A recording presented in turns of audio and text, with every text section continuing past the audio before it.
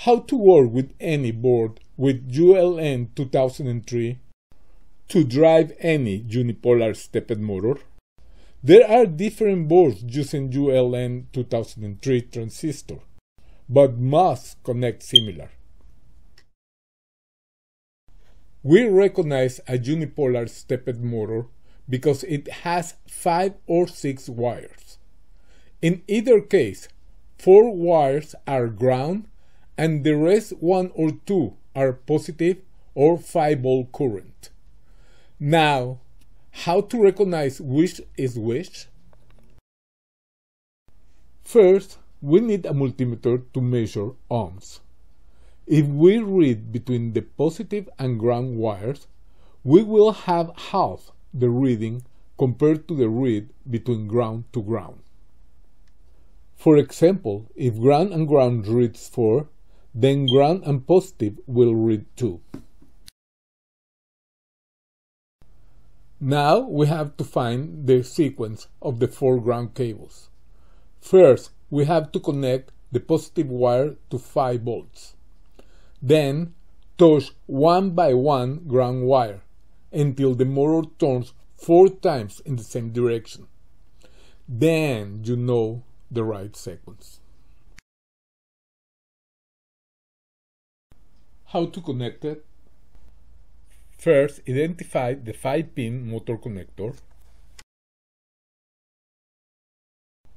The first pin on the left is going to be the 5 volt and the rest 4 are ground.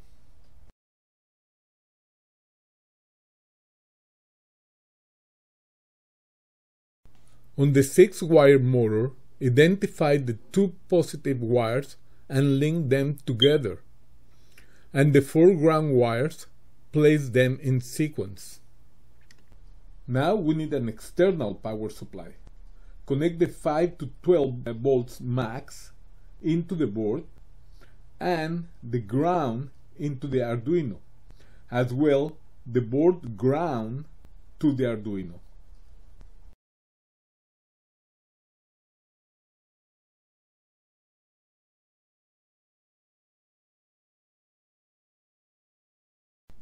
And now let's connect the driver board into the Arduino board.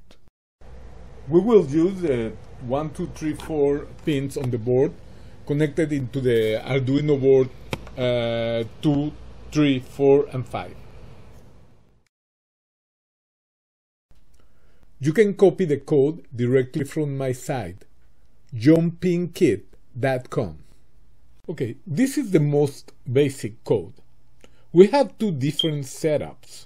One for small motors like the 5 volts 28BYJ and other for a little larger motor like the 12 volts.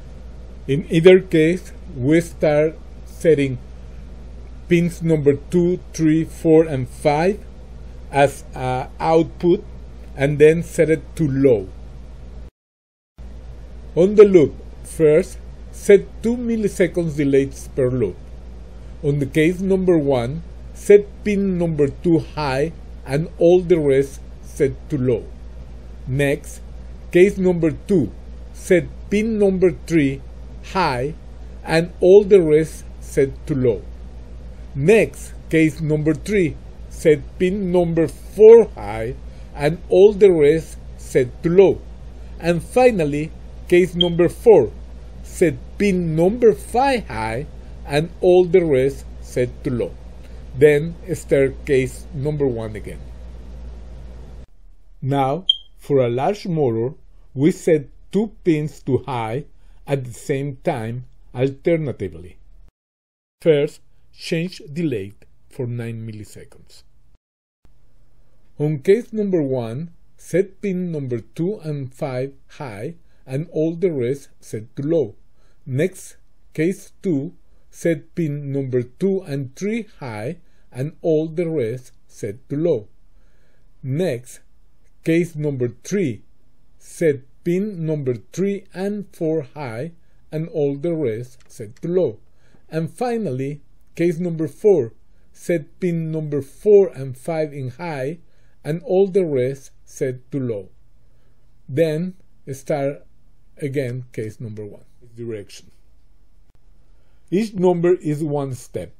In this case, this motor needs 2048 steps to make one complete turn. So thank you for watching.